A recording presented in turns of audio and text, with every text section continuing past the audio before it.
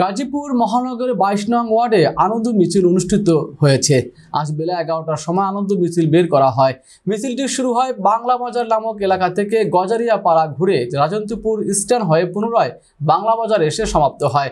আনন্দ মিছিল অংশ নেন বাইশ নং ওয়ার্ডের বিএনপি সভাপতি আমিনুল ইসলাম সহ ওয়ার্ডের নেতাকর্মী ও সাধারণ জনগণ। এই আনন্দ মিছিলে মিছিল করতে দেখা যায় প্রায় দু হাজার নেতাকর্মী এবং এ ওয়ার্ডের জনসাধারণগণ। আনন্দ মিছিল শেষে মিলাদ ও দোয়া অনুষ্ঠিত হয়। পরে সাংবাদিকদের বাইশ নং ওয়ার্ড কাউন্সিলর মোহাম্মদ সবদে হাসান তার বক্তব্যে বলেন আমাকে নির্বাচিত করেছেন ওয়ার্ডবাসী। আমাকে বিশ্বাস করে ভোট দিয়েছেন আপনারা। আমি আপনাদের সেই বিশ্বাসের মর্যাদা দেব ইনশাল্লাহ এবং আপনাদের সুখে দুঃখে পাশে থাকব। আমি তাদের জন্য বিসর্জন দিলাম। আপনারা আমাদের পাশে থাকবেন। আমরা এই বাইশ নং ওয়ার্ডের প্রত্যেকটা মুরব্বীদেরকে নিয়ে, প্রত্যেকটা পাকা মানুষকে নিয়ে আমরা নির্বাচন করি। আমরা কোনো ছেলে মানুষকে নিয়ে নির্বাচন করি না। আমরা আমরা মুরব্বীদের আমরা মুরব্বীদের সম্মান করতে জানি। আমরা মুরব্বীদের দোয়া নিয়ে সামনে অগ্রসর হই।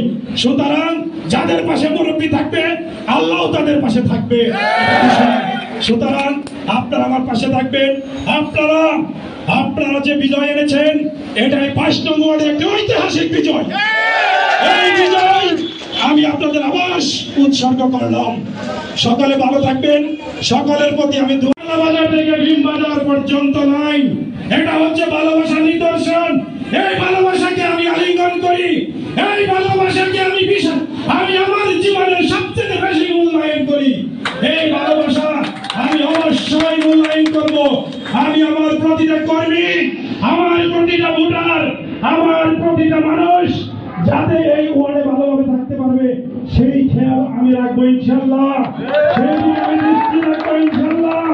আমার কোন কর্মীকে যদি